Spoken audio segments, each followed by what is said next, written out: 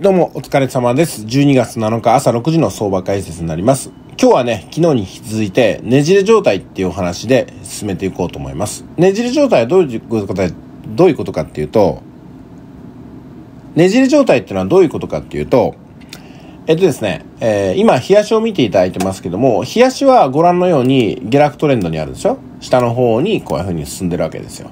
で、移動平均線の下にもおりますしね。えーこのチャンネルラインっていうのは下落を示してると思います。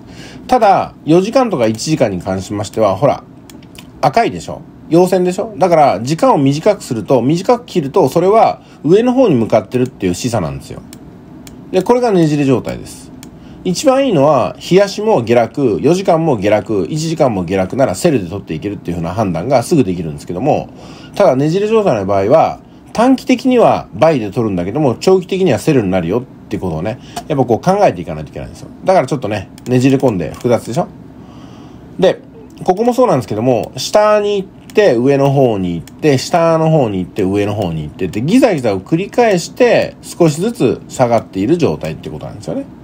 そう考えていくと、大きな時間軸、支配波ってのは下落の方向に向かってるけども、瞬間的にはね、支配されてないような時間帯もあるってことなんですよ。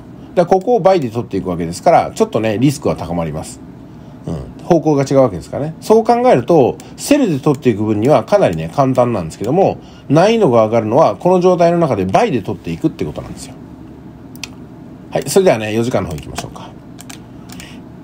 4時間はどちらかというと、倍で取るというよりも、セルで取るというよりも、ちょっと横ばいなんで、4時間ではなかなかね、利益が取りにくいんじゃないかなと思います。ただ全体的には、ほら、下目線になってるでしょ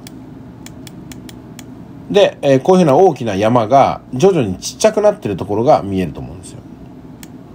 収束っていう考え方もここで、ね、成り立ちますね。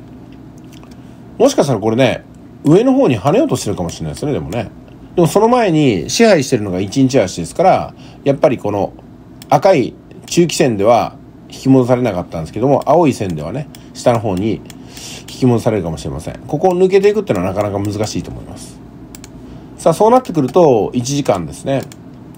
1時間もゆるゆると上の方に向かっているには見えます。こういう風な形でね安値はどんどん切り上がってきてでも高値は一定レベルですよっていう風なアセンディングトライアングルみたいな形が見えるんですけどもでもじゃあ上にボーンと突き抜けるかっていうと4時間の方がちょっと消極的なんでねうんやっぱ冷やしに引きずられて1時間も上に行くのには限界が生じるのかなと思います。まあですんで上には行くのにはね上に行くので重い展開になるのかなと。その上でこのフォーメーションとしてはアセンディングトライアングルに見えるかなと。下根もどんどんね切り上がってきてますからね。あんまり下に行かないようになってますよね。だからねじれ状態判断が難しいよと。特に昨日に比べて今日は難易度上がってますんでね。あの難しいですよ。昨日がだからちょっと二の足を踏む方は今日はねより行かない方がいいと思います。あのロスを高めますんで。あですんでね、ロットを落としていったりとか、デモトレードに、えなっていくってことになりますかね。うんじゃあ、基本的な戦略はどう取っていくかってことなんですけども、まあ私の場合はこれね、今だからこそ、上の方に当たってますから、セルをかける瞬間、そのチャンスが来てると思います。そしてもう一つ、髭先を結ぶこの切り板。ここを抜けたら、倍で取っていく。そんな判断になりますね。はい。あとは決断だけです。今からセールを入れるのか、ここを抜けるのを待ってバイを入れるのか。はい。全く違った方向に二者択一が迫られています。はい。今回は以上です。お疲れ様です。